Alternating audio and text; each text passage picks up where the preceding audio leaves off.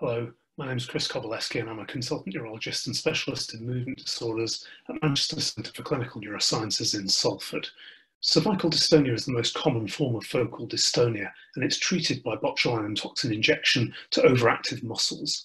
Effective treatment with botulinum toxin injections requires careful assessment as to which muscles are active, but injections without some form of guidance are not always fully accurate. Ultrasound uses high frequency sound waves to build up a non-invasive picture of different structures in the body.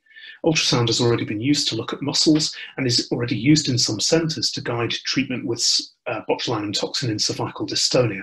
However, use of ultrasound requires training and is dependent on the person using it.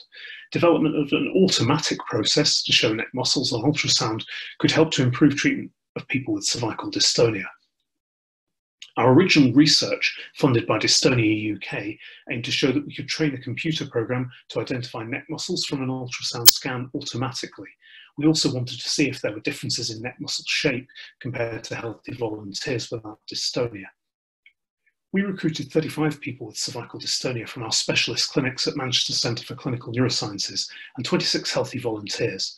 We examined them to work out the severity of their dystonia, and all participants had an ultrasound and magnetic resonance scan of the neck muscles.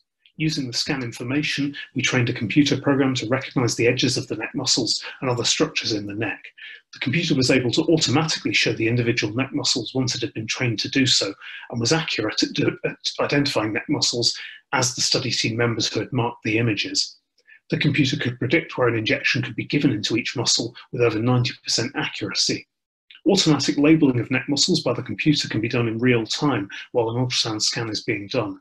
We found changes in the size and shape of neck muscles in people with cervical dystonia, which were different to healthy volunteers without dystonia. The next stage of our work is to translate this proof of concept into a tool that works robustly to show muscle boundaries on scans collected from patients with cervical dystonia in the dystonia clinic.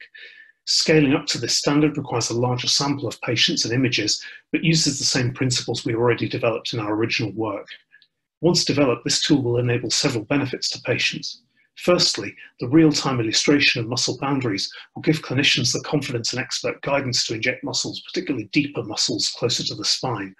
Secondly, the objective recording of precisely where the toxin was delivered provide historical records that by comparison with previous results will enable clinicians to improve their targeting of muscles and delivery of injections for individual patients and their overall patient population.